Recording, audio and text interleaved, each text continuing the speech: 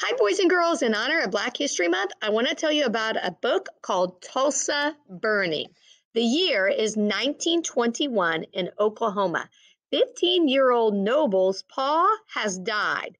Nobe's not too sad about it, though. His pa was abusive and said Nobe was just something to hit. However, life is even harder without his dad because they are no longer able to afford their farm.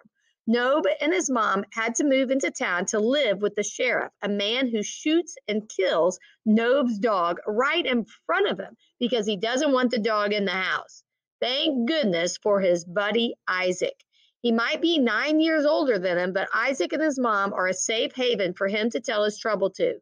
Problem is, Isaac is black and Nobe is white. And in 1921 in Oklahoma, some people have a problem with them being friends.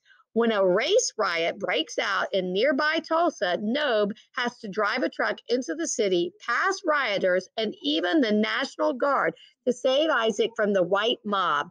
This book captures an era of poisonous racism. Nobe has to stand up for justice, even though it means going against the sheriff who has the law on his side.